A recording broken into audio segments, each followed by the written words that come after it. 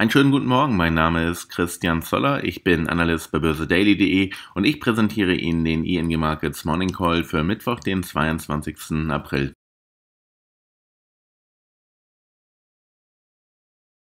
Gut, wir beginnen zunächst mit einem Rückblick auf den Vortag. Wir hatten hier am Vortag den Shortbereich zwischen 10.450 und 10.550 Punkten gehabt und genau hier haben wir auch unser Tageshoch gebildet und sind dann peng nach unten abgedreht und dann bei 10.249 Punkten mit einem kräftigen Abschlag von minus 3,99 Prozent aus dem Handel gegangen.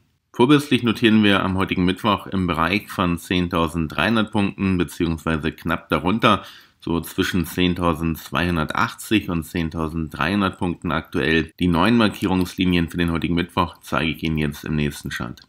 Gut, für heute haben wir dann den Short-Bereich zwischen 10.340 und 10.440 Punkten und den Long-Bereich dann unverändert zwischen 10.000 und 10.100 Punkten, nämlich hier genau am offenen Gap. Dieses offene Gap dürfte dann in der nächsten Abwärtsbewegung möglicherweise sogar am heutigen Mittwoch dann erreicht werden und hier könnten dann eventuell kurzfristig Long-Positionen eingegangen werden. Am besten hier relativ nah an der dunkelgrünen Markierungslinie im Bereich von 10.000 Punkten, wo sich hier auch die Unterstützung noch befindet stattfindet. Die Long-Positionen sollten aber nicht über Nacht gehalten werden, sondern im Tageshandel dann wieder schnell mit einem kleinen Gewinn verkauft werden. Wir befinden uns weiterhin im Short-Modus. Hier haben wir dann den wichtigen Wochenchart vorliegen, den habe ich aktualisiert nach dem Kursrutsch vom Vortag.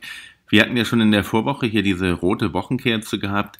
Das deutete bereits darauf hin, dass wir möglicherweise dann in der aktuellen Woche vor wieder fallenden Kursen stehen. Das ist dann auch so gekommen.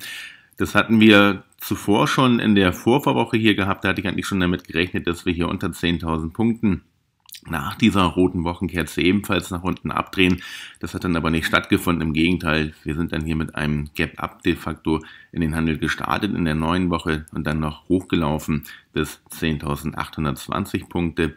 Aber das ist eher die Ausnahme. In der Regel ist es so, dass auf eine rote Wochenkerze dann auch eine zweite rote Wochenkerze folgt. Und sollten wir nun nicht in der aktuellen Woche vor einer kräftigen Erholung stehen, dann dürften wir hier weiter abgeben und dann auch den Bereich hier von 10.000 Punkten anlaufen. Das würde so lange gelten, wie wir hier unter 10.300 Punkten uns befinden. Können wir die Marke von 10.300 Punkten wieder nachhaltig erobern, dann wäre die nächste Anlaufmarke nun bei 10.500 Punkten. Und darauf noch bitte achten, solange wir uns nun aktuell unter 10.500 Punkten befinden, dürften wir direkt weiter abgeben und keine längere Aufwärtsbewegung mehr starten. Der Bereich von 10.500 Punkten ist unsere Signalmarke aktuell. Solange wir darunter sind, ist alles im Abwärtsmodus und auch kleine kurzfristige Korrekturen im Intraday-Handel dürften dann schnell wieder auslaufen. Gut, dann wären wir erstmal wieder durch für heute. Ich melde mich dann höchstwahrscheinlich noch im Tageshandel, dann je nach Zeit mit Kommentaren unter dem Video bei YouTube. Ich wünsche Ihnen viel Erfolg im heutigen Handel und dann am morgigen Donnerstag melde ich mich wieder mit dem ING Markets Morning Call.